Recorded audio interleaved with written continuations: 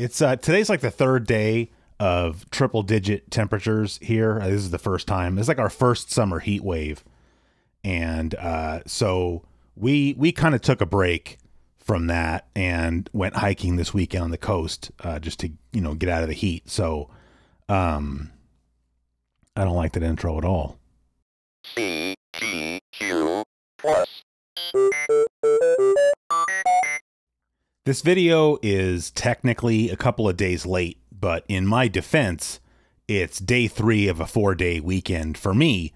So, uh, you know, from my perspective, it's uh, it's still the weekend, and uh, we're talking about a game this week that I'm I'm pretty excited to talk about, uh, Kaze no Notam, and uh, you know we'll get into the game in a second, but uh, just the first thing I want to do right off the bat, actually, the first thing I want to do right off the bat is uh, for those that didn't see, normally I wouldn't do something like this, but you know, last week's video, I I uploaded it and YouTube chewed on it for like 12 hours at least, and still wasn't making it available in high definition. So I had to, to delete it and re-upload it, and you know, I think that did something to it in like the YouTube algorithm because it didn't get as many views. And I mean, that's fine if people saw it and just like I don't want to watch that uh, no problem. But if you didn't know that I uploaded a video last week because YouTube didn't tell you, uh, last week we looked at uh, They Go on the PlayStation, which is an awesome, awesome game. I was really happy with how that video turned out. So, uh, just if you didn't know it was there, you should go check out uh, weekend rental episode. I'm not sure what, maybe eight. Uh, we're doing PlayStation again this week. Uh, you know, summer is officially here, and I just get real nostalgic for the PlayStation uh, during the summer. I, I got my PlayStation at the beginning of summer, 1997. Uh, a, a lot of my uh, most memorable times, like really like uh, digging into PlayStation games, was during the summer, uh, like the Final Fan- Final Fantasy VII, Final Fantasy VIII. Although I ended up not liking that one. Uh, I the first time I played Final Fantasy II was uh, on the on the PlayStation. I forgot was that anthology or collection. It wasn't Origins, I don't think. I can't keep them straight. I never had a, a Super Nintendo. I think I'm on the record for that. So that was my first opportunity to play that game. That was in the summer. So uh, all that is to say, we're probably going to play a, a disproportionate amount of PlayStation uh, you know, for weekend rental episodes over the course of the summer. Not exclusively, but uh, and I know uh, if you did watch the episode last week, I said we were going to do Rambo three. We're still going to do Rambo three. Just, just I know I'm I'm kicking it down the road again, but uh, I don't know. I just I played this game and I, I just decided I I got to this has to cut to the front of the line uh, of weekend rentals. And I'll tell you right now, I might do a video next week that's not going to be Rambo 3 either because something else uh, has kind of come to my attention that I want to check out. Um, I don't know, just to just to share this because I was excited about it. Uh, I got my PlayStation. I had the SIO mod, that's PSIO mod in my PlayStation as uh, an optical drive emulator. That one plugged into the parallel port on the on the back of the system. Uh, still required an internal modification, which which I don't do that. But uh, I was using that. I finally got an X station and put that into a different PlayStation that I have. Although it's still uh, a 1001 PlayStation, so like the original, you know, near launch uh, model. Uh, and I mean, I don't know why I'm telling you this like it matters, but you know, just now now I have an X station that's pretty cool. So uh, I've got I've got the the memory card all loaded up with a lot of goodies uh, including the game we're playing today. Now, uh, before we talk about the game uh, itself, uh, I just kind of want to give credit where credit is due. You know, this is kind of, you know, for Americans, this would be, or Europeans really, this would be considered sort of an obscure PlayStation game just because it didn't come out here. And, you know, I'm not smart enough that I'm like pulling obscure Japanese PlayStation games out of my butt. So, uh, again, just to kind of give credit, uh, just but also to talk about this. Uh, I learned about this game watching a video by Tim Rogers, which uh, I will freely admit I did not know who Tim Rogers was. Uh, just because I, you know, I'm just out of the loop on like everything. Like I don't really watch a lot of gaming content on YouTube. I don't really listen to podcasts outside of like Retro Game Squad, and you know I don't read gaming websites. You know I'm just I'm out of touch. I kind of just stay in my lane. and I'm doing my own thing. Tim Rogers is kind of a big deal. Tim Rogers kind of came into the public gaming gaming public consciousness doing uh, videos for Kotaku, which you know I, say what you want about Kotaku. Some people don't like Kotaku. I don't read it really because I don't read anything like that. So I don't. Some people don't like it. Whatever your opinion of Kotaku is, uh, Tim Rogers' videos on their YouTube channel were uh, very good. Like I've gone back and watched a lot of them. Um, you know, the guy just found his calling as far as uh, what he's doing with with writing and uh, and video making. Anyway, um, it was Coury who who got me watching this guy. He, he kept bothering. Oh, you got to watch you know this Tim Rogers guy. You know, and he always doing a podcast with Frank Cifaldi, Insert Coin. I'm like, I you know I've never heard of it. Again, uh, that's a reflection on me, not them. They're both very famous, and you know, I'm whatever. Um, but you know, Coury was telling me like, oh, he's making this. He made this series of videos back when he was doing Kotaku stuff where uh, he was retranslating Final Fantasy VII. So like each video would be you know a couple scenes out of Final Fantasy VII that he uh, retranslated because he I mean he's American but he speaks fluent Japanese. He lived in Japan for like ten years, so he speaks like very fluent Japanese, and so he kind of retranslated the game because uh, you know Final Fantasy VII is kind of famous for uh, I don't want to say it's poor translation. It's it's rushed translation. It was translated in like two weeks. So, uh, you know, a better job could have been done if the translator had more time. Anyway, uh, I started watching those, but like Coury was really trying to get me to watch. Uh, I guess you know Tim left Kotaku and has his own YouTube channel called Action Button. Should have said that earlier. Uh, go search that on YouTube. Action Button and um, you know, Coury's thing was like, oh, this guy he makes like six hour long videos. Like he's only reviewing one game, but it's like a six hour long video. And I was like, well, I gotta go check that out. And um, yes, the videos are like very, very long, but they're not meant to be watched like at once. I mean, they're in chapters and they're meant to be watched more as like a series, like in the same way that you'd go onto a streaming service and you know binge watch the first season of whatever you know that's kind of how his videos are. Like you can sit there and binge watch the entire video but they're not really put together in such a way that they're meant to be watched that way. Like you watch a chapter and then you know the next day you can watch the next chapter. Anyway i, I don't want to go too go on too long about his his channel i could make a whole video just talking about uh, this guy's stuff. I just I that's how much I like it. But uh, he his latest video, which came out like eight months ago, uh, he did this you know like six and a half hour long video review of uh, a Japanese game called Boku no Natsuyasumi, and I had never heard of the game, never played it, never even heard of it. Uh, but I, I started watching it and just got sucked in, and you know I ended up watching the whole thing. I've I've probably in total watched the whole thing again maybe two more times, not maybe not in order, but skipping around. And uh, I say this with uh, all sincerity, uh, uh not a, a, hint of uh, exaggeration. It's it's the best thing I've ever seen on on YouTube. His Boku no Natsuyasumi video. Uh, it it has just influenced me and had had a real impact on me in a number of ways. And I mean, I can't you know I can't say enough good things about it. You know, Tim doesn't watch my show, I'm sure, but uh, if he did, I would, you know, I'd want him to know that. Like that's how good I think that video is. And that video is is how I learned about uh, Kaze no Notam, which uh, you know, towards the end of the video, he starts kind of talking more broadly about just all the creativity surrounding the original PlayStation, and he was just like naming off games or talking about them very briefly uh, as examples of you know the the magnitude of the creativity on the PlayStation. And so he talked about uh, Kaze no Notam, and you know I saw because he was showing footage while he was talking about it, and I was like, oh, I gotta I gotta check that out. It's a hot air balloon game. So, uh, so I did, and that's how we got to uh, to where we are now. Uh, before we get into the game, which we're going to in a second, uh, just a couple things I wanted to mention real quick. Uh, one is the name because uh, I was trying to figure out what the name means because I I wish I had the box. I don't have the game to hold up and show you, but uh, you know the game. You know it says on the front it says Kaze no Notam in uh, in well kanji, hiragana, and katakana.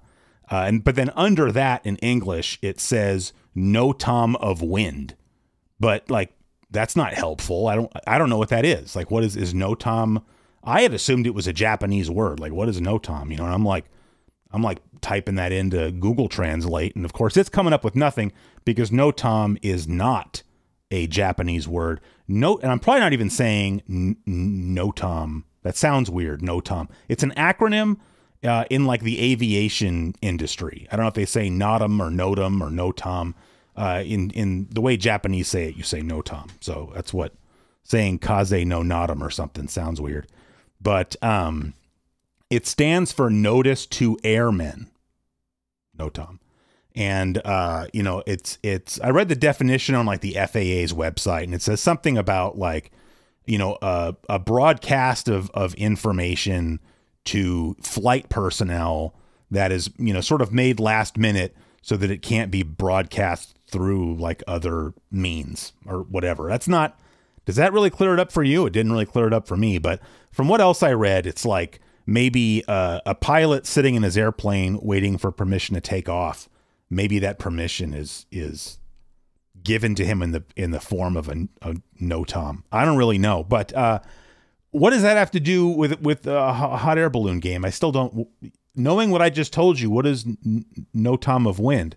I don't know. But uh, ArtDink, who is the developer of the game, obviously they know because uh, they named the game. And so here's what they said. Uh, they said that no tom of wind uh, is meant to mean meant to mean meant to be taken as the wind gives us permission for our flight which I think makes pretty good sense because, uh, you know, a hot air balloon. Uh, I don't know how much you guys know about hot air balloons. I know more about hot air balloons than uh, probably most people for uh, reasons that I'm not going to get into here. But um, uh, uh, I'm actually writing. I'm writing a text review, kind of a long text review of this game for my website, and I'm also including a translation guide for the game, which I'll, I'll talk about in a minute and I'm going to try to release that as, at the same time as this video. So you can learn all about why I know about hot air balloons and uh, lots of other things that have nothing to do with this game before I finally talk about the game uh, in that review. But uh, if you want to check out the game, which I highly, highly recommend that you do, um, you can muddle through it without knowing what the text like there's nobody in the game talking to you in Japanese. It's just there's some text. And you know you could muddle your way through it but uh, you know I, I, I typed out a, a, text file guide that will make it uh, very very easy. And uh, you should use that to play the game. But uh, anyway uh, if you don't know a lot about hot air ballooning uh, then let me tell you you cannot steer a hot air balloon you can go up and down those are the two things that you can control the upping and the downing and where you traverse is dictated by the wind. And so that's why the game has its name. The wind gives us permission for our flight because you're counting on the wind to carry you uh, somewhere. And the only thing that you can do if you're a, a, hot air balloon pilot is you can adjust your altitude to try to pick up wind currents going in different directions. And that's what you have to do uh, in this game. Uh, the other thing uh, before we talk about the game itself is I just wanted to talk about the cover art uh, because this game has very distinctive, uh, distinctive among the PlayStation library, uh, at least, and especially distinctive, I think, if you're a, a not a Japanese person, uh, cover art. So uh, I don't have the game to hold up and show you, so I'll just overlay it on the screen. But the cover art for Kaze no Notam was painted by a guy named Hiroshi Nagai. And uh, in Japan, Nagai is a f- very well known uh, artist. And uh, I'm telling you all this stuff for a reason. I'm not just trying to say, hey, look at how smart I am. Uh, I'm, I'm not smart. I just know how to read about stuff. So um, uh, Hiroshi Nagai was a was an established artist, And then in like the late 70s, he got contacted by a musician called Eiichi Otaki to work on a book together, uh, just like an art book. And uh, out of that project of them working together, uh, uh Nagai ended up painting the the album artwork for an Eiichi Otaki album called A Long Vacation. And I, that I do have here to show you. Uh, I mean, this is a, a very famous uh, Japanese rock album, uh, sort of a seminal 80s. Uh, I don't know if someone would consider this city pop or not. You you tell me. I'm not knowledgeable enough about city pop to listen to this and go, "Oh, that's that's city pop," but but it's a really good album. And uh, and again, it's a very famous album in Japan. And so when Hiroshi Nagai uh, did the album artwork for A Long Vacation, he got like all these other artists contacting him saying, "Hey, we want you to do uh, the cover art for our album too." And uh, these were a lot of city pop uh, artists. And uh, in fact, just because also this is bigger and I can show you this more easily. Uh, so this is a, a, compilation album. So I'm trying to not have there be. Is it better over here? No. Um, glare. Uh, this is a compilation album called Pacific Breeze and uh, this was put out by a company called Light in the Attic Records. But uh, anyway, this is a compilation album of a bunch of city pop songs, and uh, this cover artwork that's also uh, Hiroshi Nagai. So uh, you know you can see that you know he has a very definite style, and uh, that's pretty cool. And just to I guess bring it back, you know, 360 degrees or whatever. Um, this company, this Light in the Attic Records, just this year re-released. I don't know if it's the first. I mean, I think it's been released before, so I'll say re-released uh, the soundtrack for Kaze no Notam on vinyl. And I don't, I didn't get that, but I have it coming on CD. But um, I don't know. I bought this as this was kind of a, a impulse buy at uh, at the record store because Hiroshi Nagai's uh, artwork is is well known in Japan you know, anybody that walked into a, a game store in Japan when this game came out would see the box art. And even if they didn't know Hiroshi Nagai by name, they would make the association, I think, between that game and sort of the, the city pop genre and the nostalgia that goes along with it. So, and I'm not saying that's why Art Dink did it.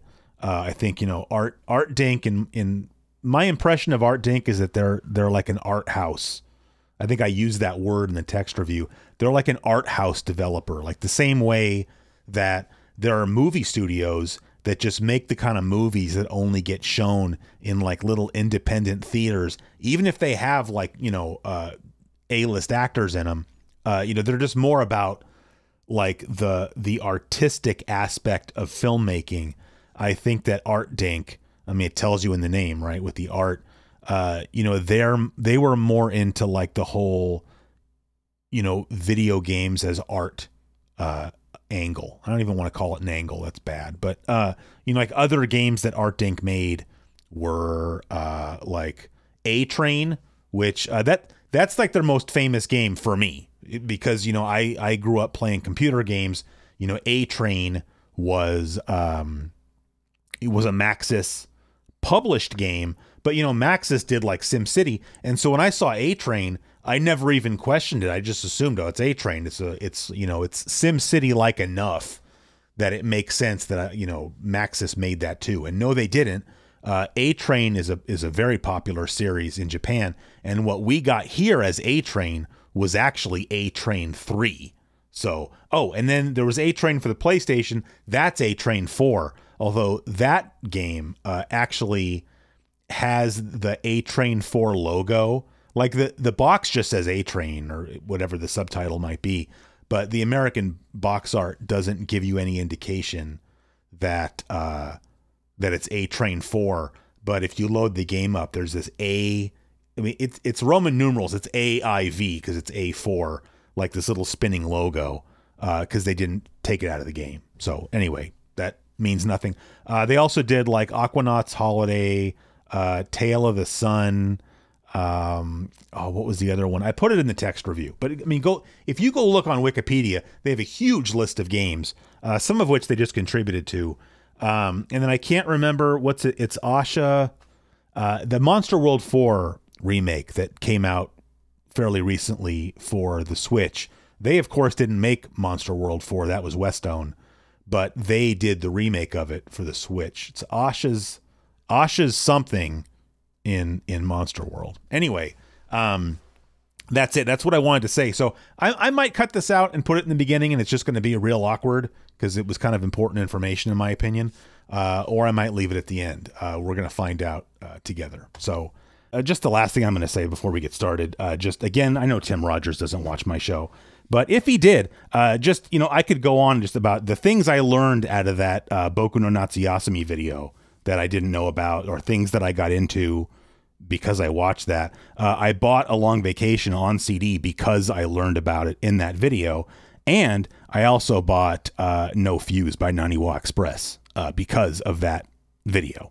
And uh, this was literally the only copy on CD I could find uh, anywhere for sale on the internet uh, on an English speaking website. So I don't know. There you go. So, anyway, um, now we're going to play uh, some Kaze no NOTAM. This is a great. I'm going to say this first. You're getting mad, but we're going to play the game in a second. I promise. Um, this is an awesome like like chill out game, and but I'm going to say for a specific. Re- I mean, obviously it's got just the ambiance, and you're just floating around in a hot air balloon. But um, and I should have mentioned this. So this is like the thumbnail for the video has the cover art, the thumbnail for this video has the cover art for the game, and then next to it, I've got written, uh, "Did you luxuriate in the wind?" Which somebody might look at that and be like, "What?"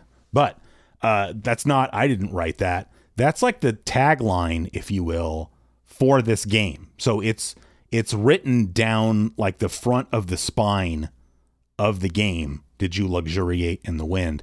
And uh, if you beat the game, you get uh, like the end screen is like your balloon like floating off into the sunset and the text on the screen in english just says uh, did you luxuriate in the wind and i mean i guess that's like a cool sounding line but i think it also like speaks to the philosophy of this game which is that uh you know you're beholden to the wind currents right and uh, especially when you're going through um, you know, there's like nine levels in this game that you can advance through. Like you beat the first level, you go to the second level, et cetera, et cetera, to the ninth uh, level. And you know, there's like defined, uh, there's a defined task for each level. Go do this or go do that, as I'll show you. And you can you can be playing the game, you know, to the best of not just the best of your ability, but you can be playing the game correctly and still not be able to beat the level on that try because the wind just wasn't going your way.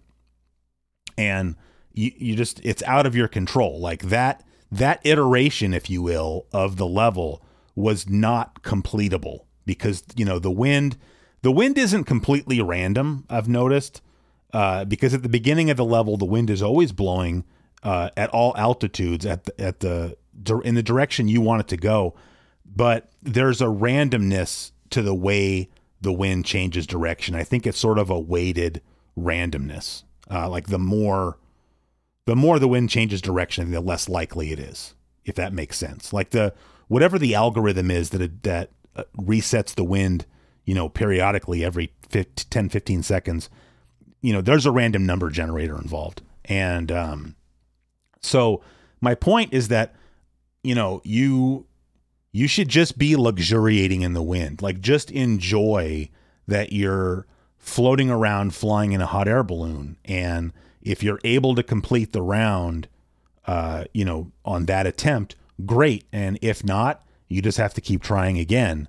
But there's no point in getting frustrated because you just have to accept the fact that that's how the game is. So um, which I thought was interesting. I mean, it, it's almost like a life lesson, in my opinion, is, that you know, in you can do everything correctly and still not get the desired and expected outcome, and that's just life. And so, like, you can either enjoy the ride and accept the fact that like you know that's that's how the ball bounces or or you're going to go through life a really unhappy person. And i think that's that's the lesson of of kaze no NOTAM, and i think it's pretty cool.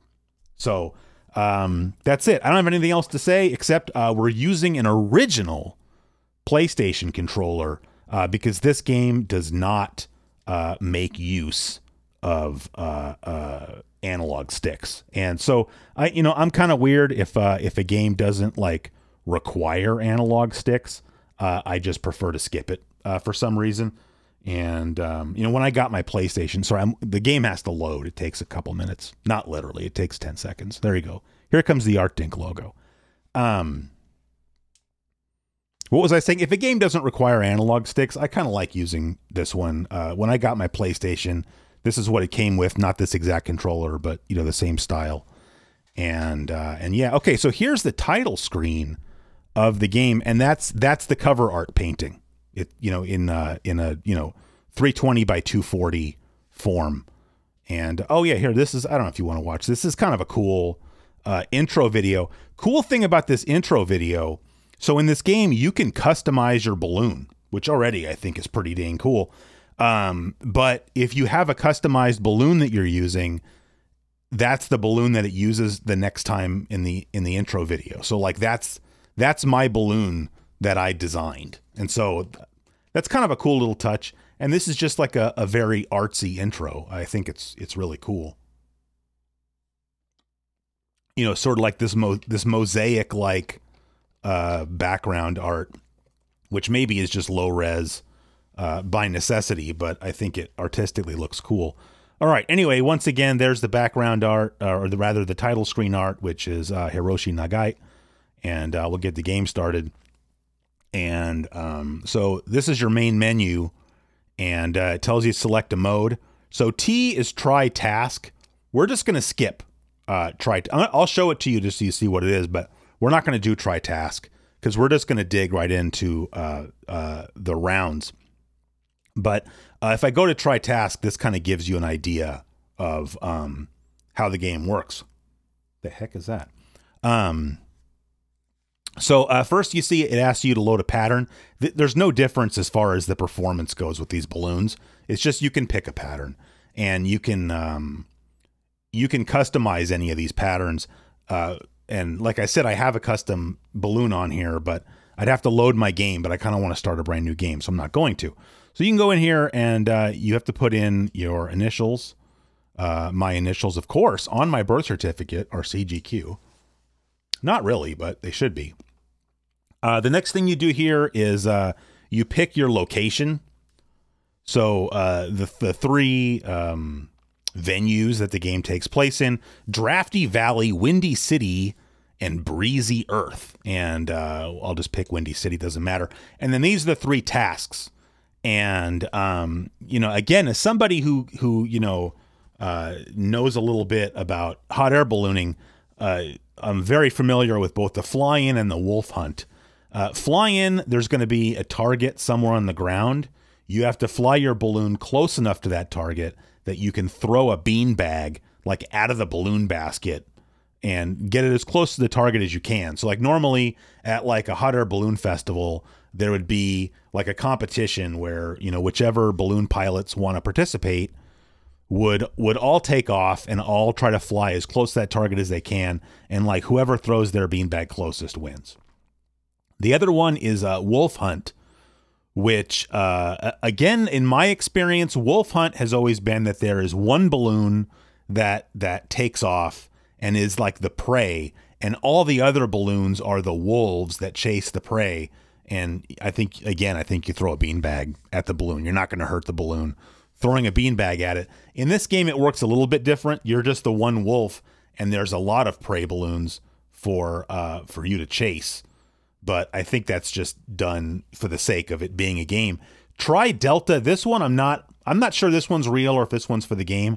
Uh, you're you have to throw three beanbags in three different locations to try to make the the biggest like in terms of area, the biggest triangle possible. So that's the three um, uh, the three game modes. And if I go ahead and and uh, progress here, you can pick morning, sunset, or night, and then you can change the weather. Uh, oh, there was snow. I didn't know that. That's pretty cool. And then down here you can play, uh, or you can you can select different background music. But I always just leave it on random because I mean this whole game has a really really good soundtrack. Like I mentioned, I've got the soundtrack coming on CD. That's how good I think it is. Uh, it's kind of a, one of the things the game is known for. So um, anyway, if I if I click through from here, then we're going to start a task, and I don't want to do that because what we're going to do instead is just go down here to round, and uh, we'll just stay with this balloon. So this is like what I was talking about uh, uh, earlier.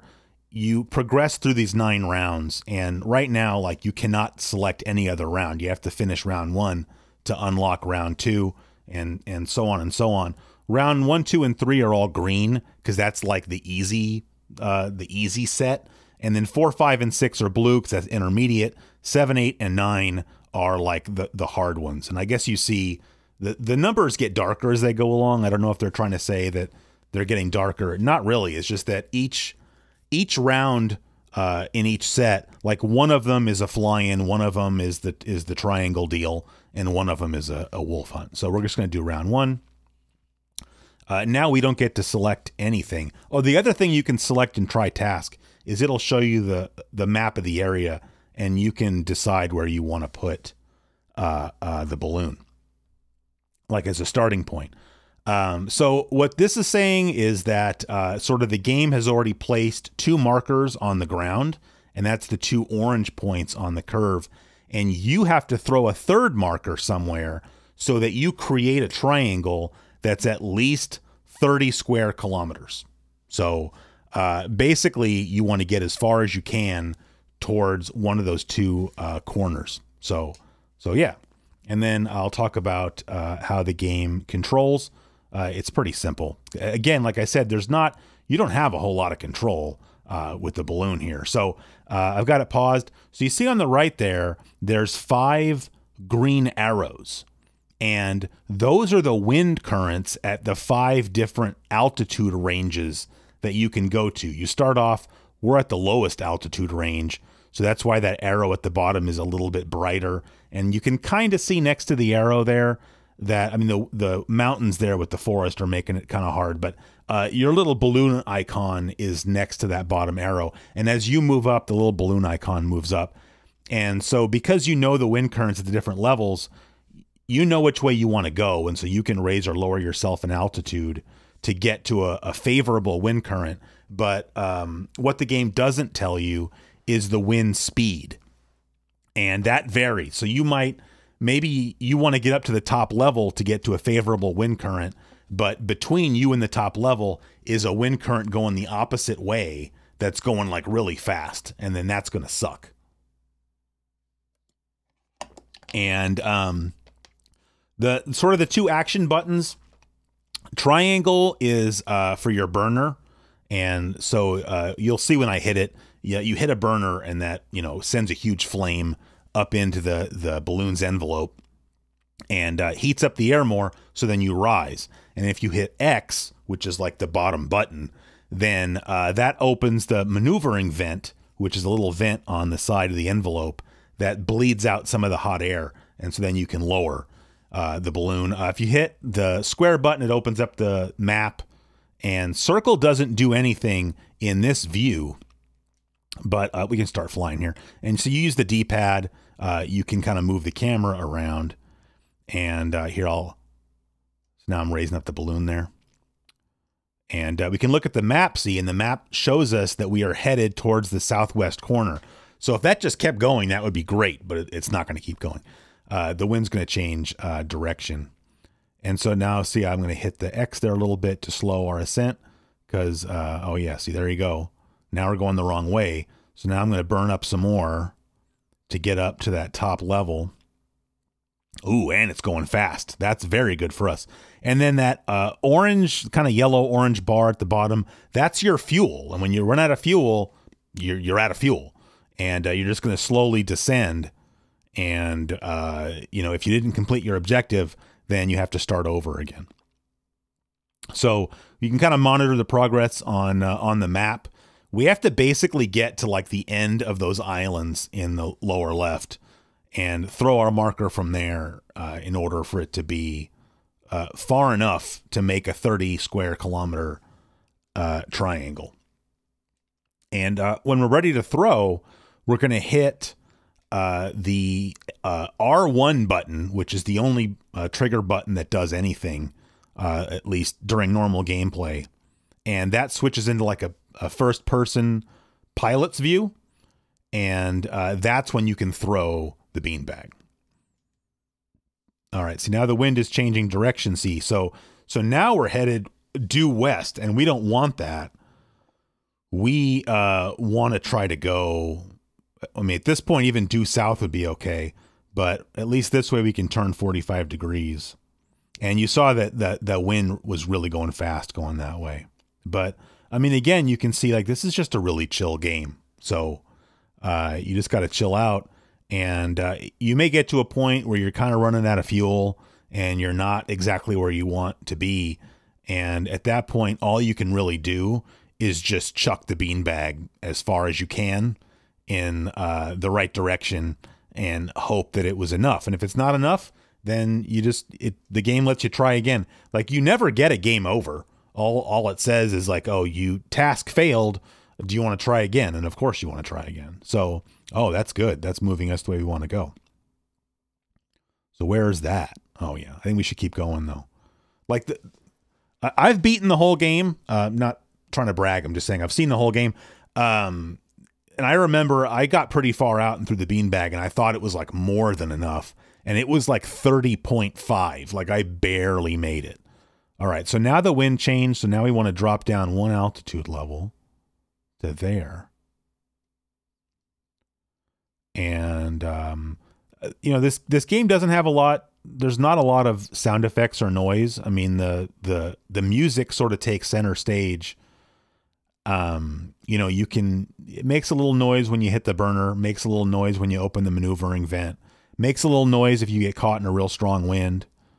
But uh, it's mostly just music. Ooh, that's not the way we want to go at all. So ideally, we want to turn right. So we are going to drop down. I mean, we're probably already far enough.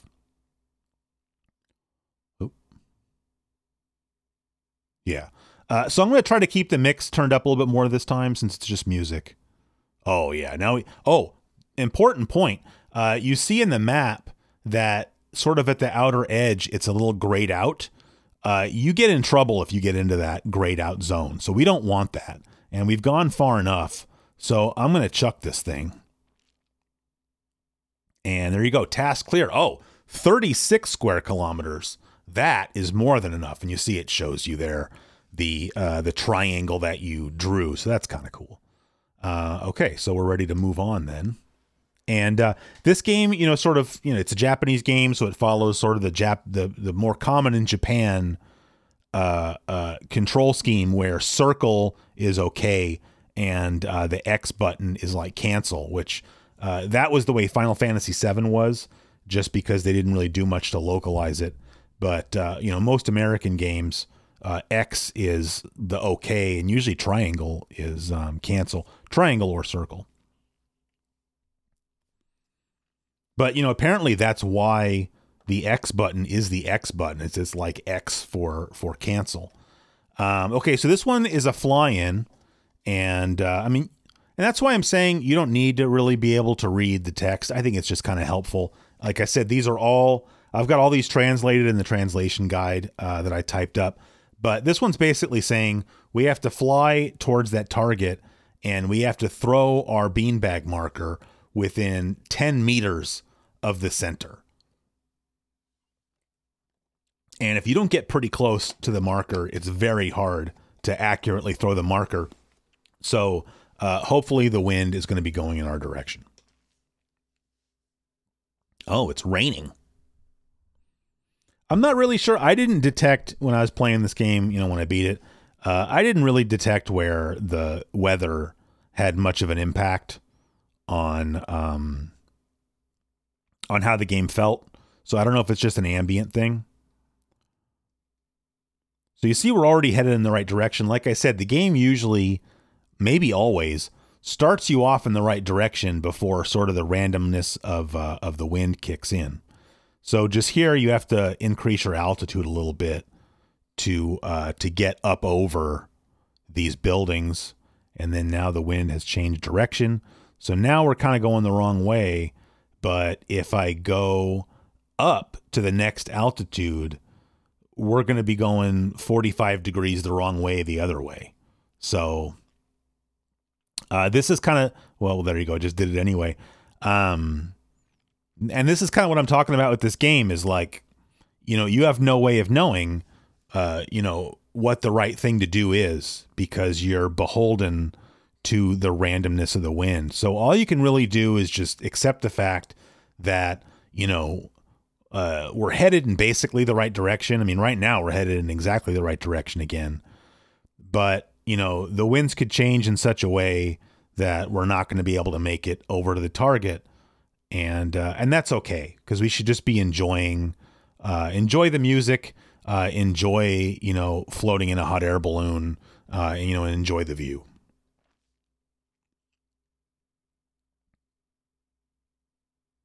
You can see obviously there's pretty bad drawing. I mean, it's the PlayStation, so that's sort of a, a defining feature of the PlayStation is drawing. Especially, I mean, this is this game is a little bit on the, I guess I would say the earlier side. Uh, I mean, the PlayStation had a pretty good like ten year run, and this is a '97 game. So, you know, maybe if this game had come out a few years later, I, you know, the drawing wouldn't be as bad and um, it's really i mean it's too bad there was not a sequel to this game. That would have been cool. It's also really too bad that this game didn't come out here. I mean i don't you know i can't say it would have been successful but we certainly got a lot of oddball japanese games coming out here which was great. And uh, you know as somebody with an interest in hot air ballooning uh, you know i definitely would have bought this game. All right now we got a pretty strong wind going our way. So i'm going to switch because we don't want to like overshoot the zone and uh, not be able to drop our deal. Oh, there it is. So we're not that close. Oh, I waited too long. Throw it. That's not even close. And then we're just going to get. Uh, oh, I forgot. We get more chances. I think we have three bean bags. But now we have to try to make a U turn, and that is not going to be easy.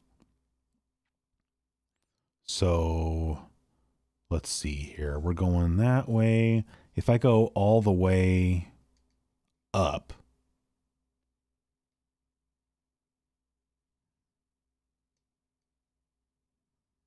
that's better at least. But see now, you see how close we are to the edge of the screen. That's kind of a problem because we don't want to run off the edge.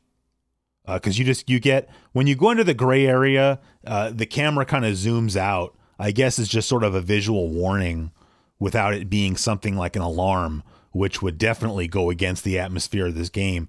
But if you actually make it all the way to the end of the gray area, so that you're at the actual end of the man of uh, of the map, um, you just get game overed. So we need to go. What is that? That's like uh, 135 degrees left. So that would be. So if we drop all the way down, but see, then you have to worry about what's underneath you. Like we have a, a mountain right underneath us. I think you can't see it because the screen's kind of cut off. Do I should I fix that? I should fix that. Um sorry, I know this is like breaking the fourth wall, but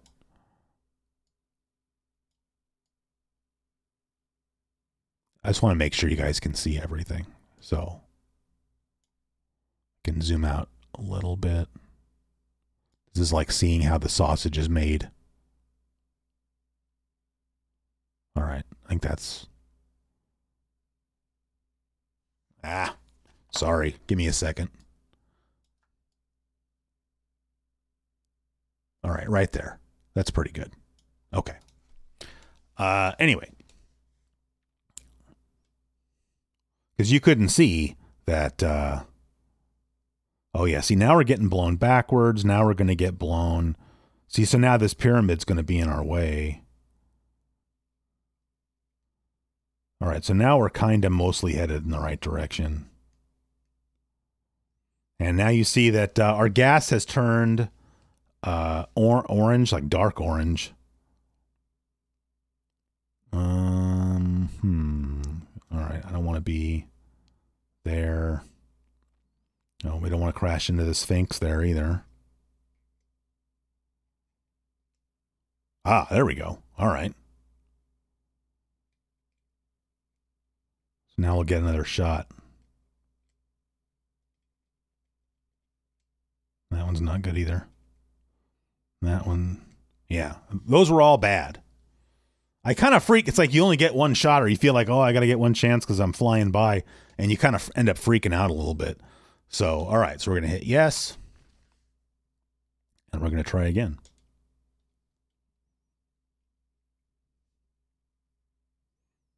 I mean, I got to say that the game clearly gave me the opportunity uh, for success there, and uh, you know, I just I botched it.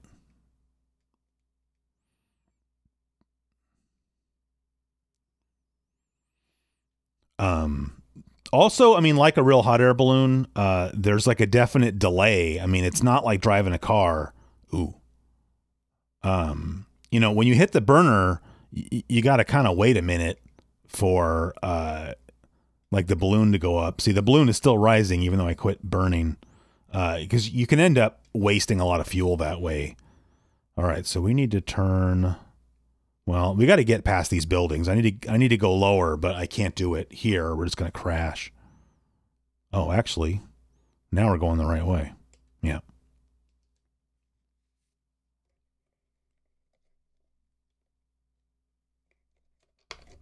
I've been drinking a lot of uh this is barley tea, which that's another thing. I didn't even know barley tea was a thing until I watched that uh cuz that's like that's how I am. I watch that you know, when he's talking about drinking uh, ice cold barley tea.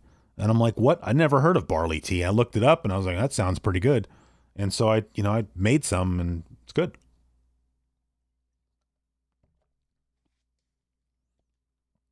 All right, we still got a ways to go. This anymore.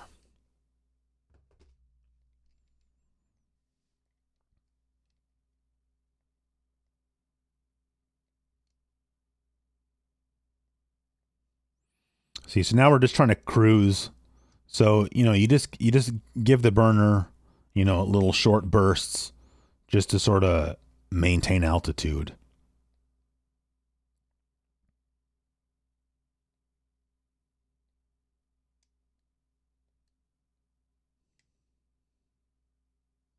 You know, you don't want to waste too much gas because, you know, if we miss again and we have to try to make a U-turn, you know, you want to try to make sure you've got enough gas in reserve.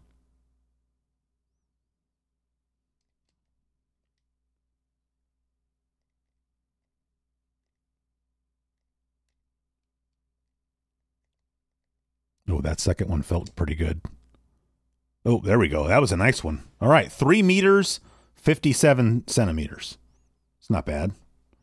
Uh, task clear. Okay, so now we move on to round three, which is going to be a wolf hunt round.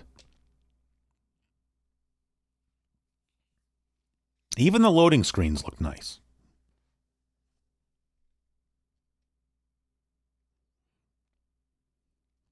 All right. Oh, you know what? I don't actually remember what this says. So hold on a second. Let me bring up uh, the guide that I made. Where'd I put it? Oh, there it is. All right, we are on round. Okay, round three. So this is so basically, I you know I took all this text, uh, I just took a picture of it and popped it into Google Translate, but then I just sort of reworded it so that it would you know because it gives you a very literal literal translation, and I kind of reworded it so that it sounded more natural, like you know if this had gotten localized, what the translators would have would have put. So uh, okay, so our instructions are to find any. See, it calls the prey the wolf balloons, and I don't think that's right. I think we're the wolf balloon, but that's neither here nor there. Find any wolf balloon and hit it with a marker within the one minute time limit. You have unlimited markers. So uh, we can basically machine gun markers at people, but we only have one minute, and you'll see there's going to be a clock up at the corner of the screen. So I mean, you kind of have to figure out which the way is the wind going. Who are we chasing? Uh, there's a guy sort of you know to uh, in front of us, a little bit to the left. So we're just going to try and uh, chase that person. But we've just got the one minute to uh, catch him. But I mean, you know, look at this view. It's it's sunset. We've got some sort of castle situation uh, over here. There's trees on the ground. Uh, that balloon in front of us is getting away, but uh, there is somebody just right behind us. If uh, we can catch some wind going the other way. No, go that way, please. Where are you? Oh, there they are. See, it's the chicken balloon.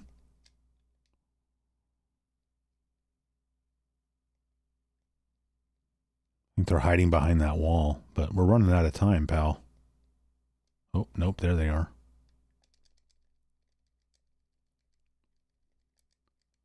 Boom, got him with eight seconds to spare. Because, like I said, see, I didn't read that the first time. Uh, I didn't notice the part where it said you had unlimited markers. And so I was trying to be careful and just throw one. Um, later, I mean, we're not going to get that far, but I think the ninth and final round is uh, you have to chase down one of the prey balloons and you have to hit them 50 times. And I, I don't I don't think there's a time limit, but you're limited on gas, man. So like you can't you can't go forever. But 50 times. But what's funny is it only took me like two tries or two or three tries to beat that level, which I was shocked by. Uh, the hardest level of this game for me is round seven, uh, I I think I probably replayed that level like twenty times, and I beat this. Le- I beat the game basically in one sitting. Uh, just uh, it was on Friday night, and um, that was hard, uh, but it was enjoyable. It's like okay, well, you know, the wind wasn't blowing my way that time. Uh, just try again. Okay, so just since I have the translation guide uh, open, round four, drop three markers on the ground so as to create a triangle with an area of 25 square kilometers or more. So now there are no markers on the ground. We have to throw all three. So, uh, what I found to be the easiest thing to do is to drop one of the markers just immediately. Like, I mean, what are you waiting for? So, we're going to go the opposite way that we are flying and then uh, basically just hurl this friggin' thing as far as we can. And that's marker number one. So it disappeared into the cloud somewhere. And then you can look at the map to see where it landed. It's, you know, looks like it landed in a park there, actually. And uh, then, yeah, so we're already heading this way, but uh, we can try to see if um, any of the wind currents are especially strong. This one seems pretty strong. But of course, we're in the middle of downtown. So uh, we can't stay at this altitude or we're going to crash into buildings. Um, you don't get like, you know, if you actually crashed a balloon into a building, that would be bad. But in this game, you don't get punished that much. Uh, it depends on how hard you hit something. Uh, you get sort of penalized by losing some of your gas, which uh, in level seven definitely comes into play. Uh, I really did not like round seven. Uh, you know, relatively speaking, it was still fun. Uh, the fact that it took me 20 tries, I mean, honestly, when I finally beat that round, it was just that much more satisfying when I did it. And I certainly never got so frustrated that, you know, I had to like drop the controller and walk away or anything. Um, because again, you are luxuriating in the wind. Uh, which way are we headed here? So uh, that's not bad. If we can throw one way over in this corner, uh, maybe that will work for us but we want to kind of get as far into that corner as possible and then hope that we can get out. Um, you don't, you know, it seems because, you know, it, when you get into the first person view and kind of like look up at a 45 degree angle and just like hurl that marker, like you feel like you're hurling it like halfway across the map and you are absolutely not. So, uh, you know, basically you're not hurling it that much farther than, you know, your, your, visible area. So you want to kind of wait until the last minute before throwing anything. So um, that being said, we don't want to go too much farther because uh, we don't want to sort of get into the danger zone, uh, so to speak. uh, at the end of the map, but that is definitely not the way we want to go either. So uh, I'm going to drop a lot in altitude.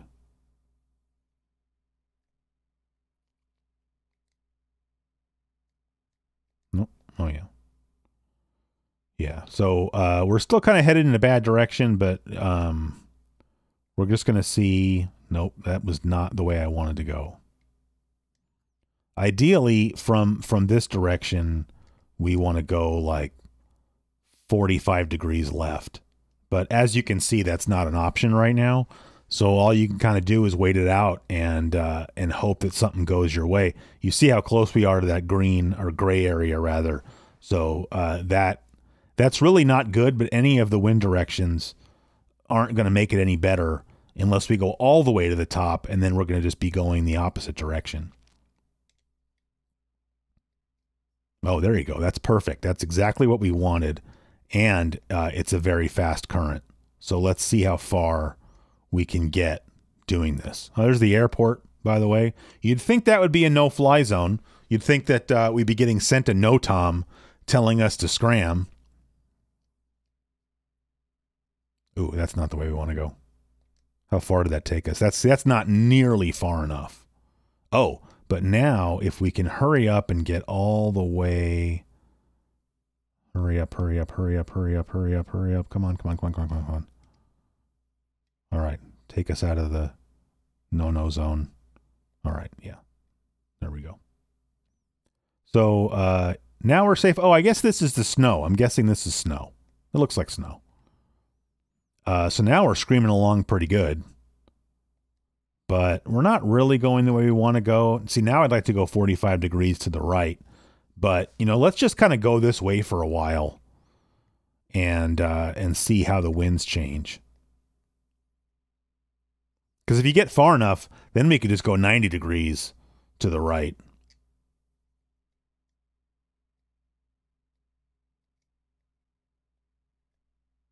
Well, there we go. So you see now we're so we are at the highest altitude we can go, but the mountains are higher. So at some point, uh, we're going to hit the mountains, and we might be far enough along that I can just like uh, chuck the marker. And if we're going to start crashing, then like that's what I'm going to do anyway. So uh, let's just throw this thing and uh, see where we end up. See, task failed. And then uh, the only thing, I mean, I, I have very few criticisms about this game.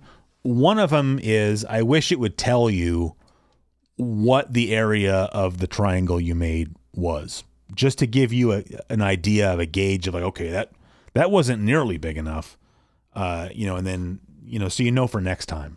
But you know, at the same time, one could argue that you know the map is kind of giving you an idea of how big the triangle needs to be so, you know, that's the danger of doing what I'm doing here and just throwing this marker is, you know, we're not that far from the center of the map, but at the same time, like, we don't have unlimited gas either. So, uh, you know, I can't wait too terribly long before I throw the first marker or or we're going to be in trouble as far as gas goes. All right, we're going pretty fast. Oh, now we're going this way? All right. And I mean, I don't really have a plan as far as like how long we're going to play the game for. I mean, this video is now what like 50 55 minutes long or something like that. So I'm not going to go too much longer, but uh, I also I hate to I don't want to end a video not being able to complete the level you're on at least. So uh, we'll see what happens. All right, now we're going due south. It's not really ideal because we want to get into the corners. So we we want to go. If I drop down two levels, that would be better. Like there. Oh, now we're going over the mountains, so yeah, we're better off down here because it's faster. But at some point, we're going to have to go up to clear these mountains over here. Huh?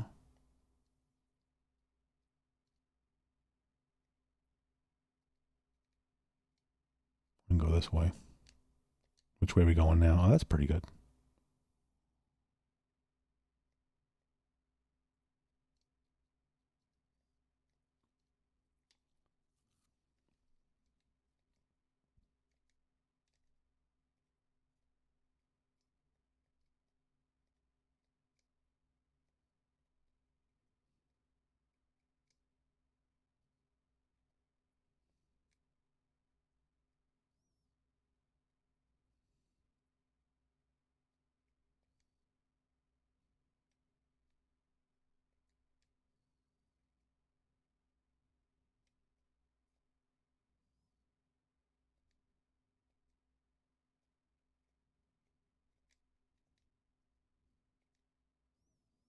I can't wait too much longer uh, to throw it.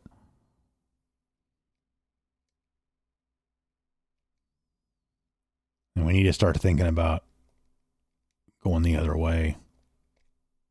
I don't know what happens. Can you? Th- I seem to remember throwing this off the screen one time or off the map, and it kind of made the game bug out. But uh, that's not happening here. So so now we, we need to turn around at some point. But all of these directions are going the wrong way, so we're just going to have to wait for the winds to change.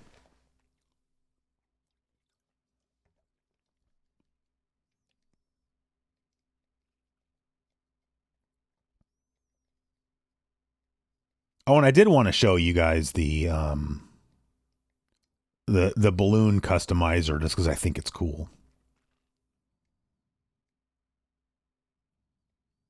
Um, all right, so I'm going to go all the way up to the top because maybe we could try to get all the way up into that upper right hand corner. I don't know if that's getting greedy. Oh, this is going to carry us into the no-no zone.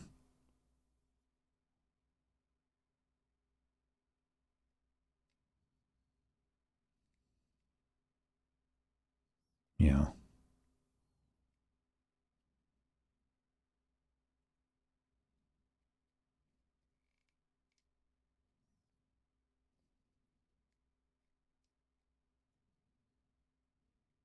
We going the right way? Okay, good. This will get us back out of there. There we go. That was scary.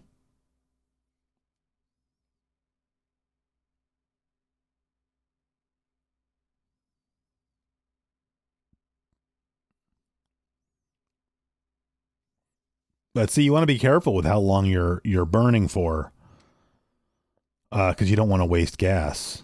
Um, but we do want to get all the way up to the top. But just try doing it in a couple of long burns. See, that's already enough to get us up there. Ooh, that's carrying us pretty fast. That's good. Because that's the exact direction we want to. Oh, no, it's not. Damn it.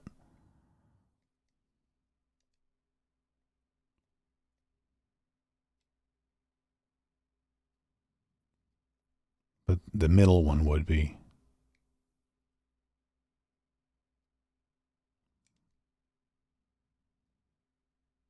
Hmm. Back up to the top. There we go.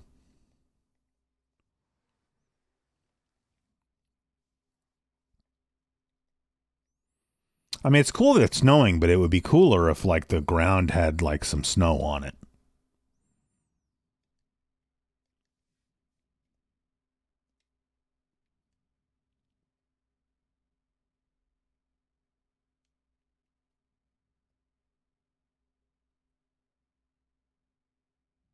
We're getting in trouble again.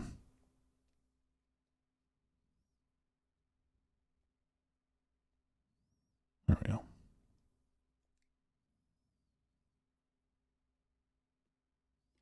See, as long as is it flat? Yeah, it's flat for a while. So you're better off staying at the bottom because then now we're not using any gas.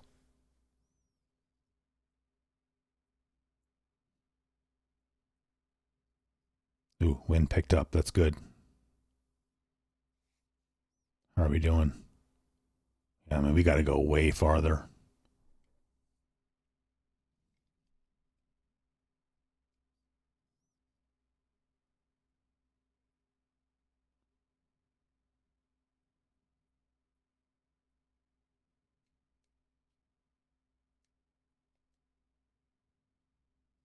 All right, we want to turn. Well, ideally, we want to turn 90 degrees to the right. So rather than wasting a ton of gas and trying to get up to that high altitude level, let's, I'm going to wait for the next wind change, see what happens. Because you see, we're still using a little bit of gas, even though we're just cruising.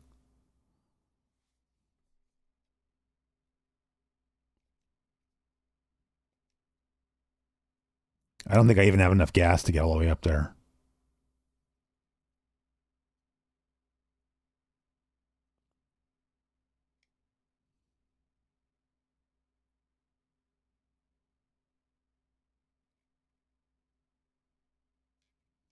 That's it. We're officially out of gas.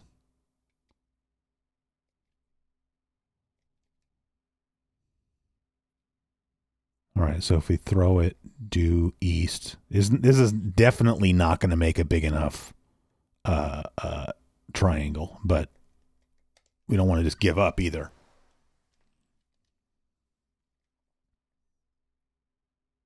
Yeah, task failed. So, uh, so I'm gonna hit no because I we can maybe try play you know again, but um, I wanted to make sure that um, I showed the uh, uh, customization mode. I, think it's cool. Uh, there's the memory card. It does everything you expect it to do. So if you go into options here, it's it's mostly in English. So record just shows you the records for for different stuff. So I mean, yay! I I don't know.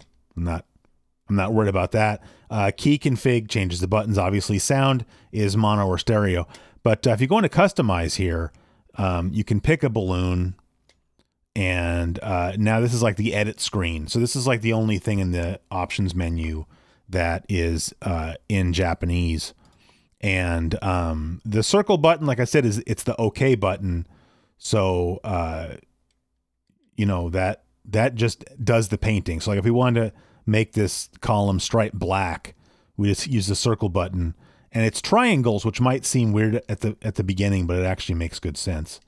Um, so you can so you can rotate L1 and R1 are rotate left and rotate right, and then R2 uh, is the tilt. So you see we can like color these in. Oh, I don't want that. So if you find one you don't want, uh, uh, the X button is like the color matching tool. So we want white. So if I hit that, or if I highlight that and hit X, you see now in the upper right where it's white again. So that way we can get rid of that thing that we don't want. And then we go up here to turn it black again and then uh, we can keep going. Uh, but it's it's also got like uh, what do you call that? Like an eyedropper tool in uh, in Photoshop? Uh, or no that's what the that's what the color picker tool is. That's what this is.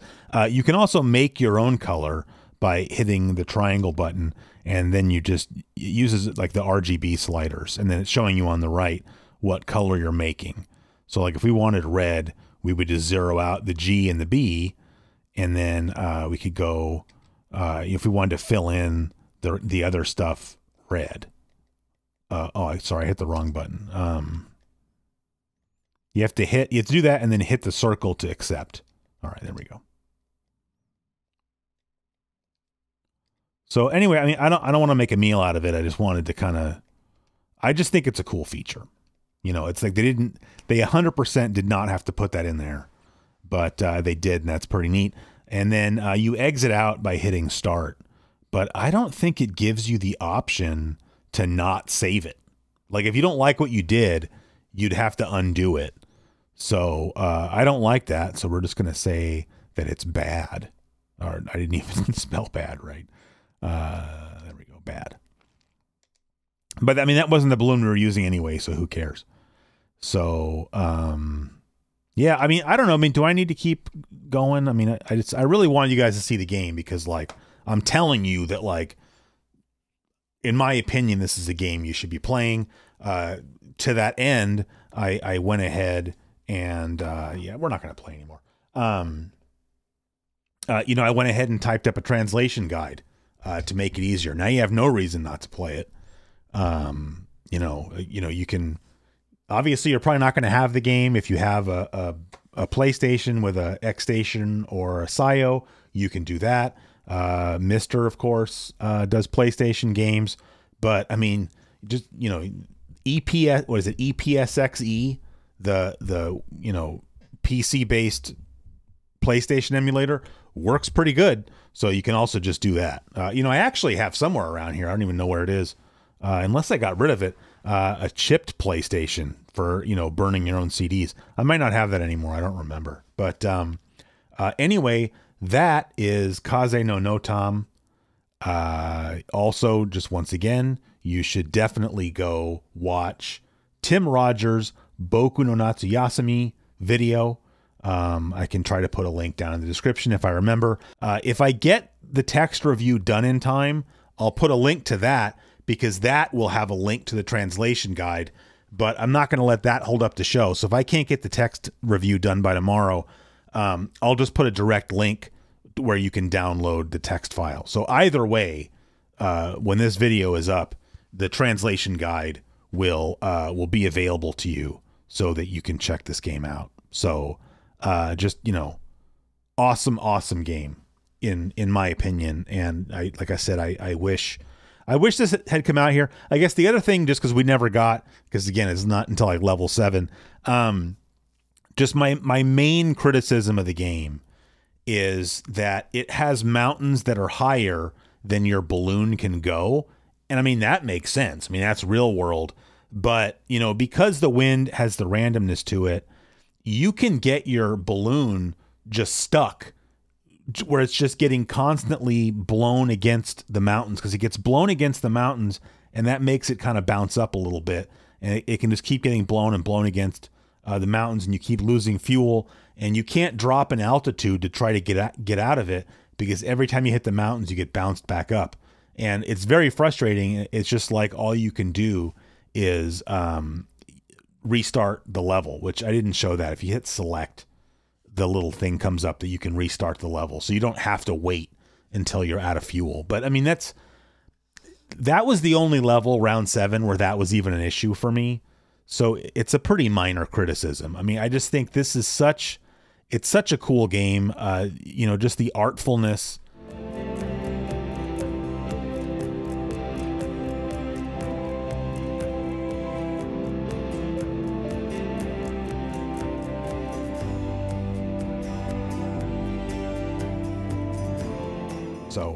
anyway, that's going to do it for this episode of YouTube's hottest new show, Weekend Rental, saying that with heavy irony for those of you that don't pick up on that. Because someone is going to say, uh, you know, who does this guy think he is? It's hot, YouTube's hottest new show. Yeah, I'm joking. It's uh, self deprecating humor. Uh, anyway, uh, that's going to do it for this time. Uh, have a good week, and uh, we'll see you again next time.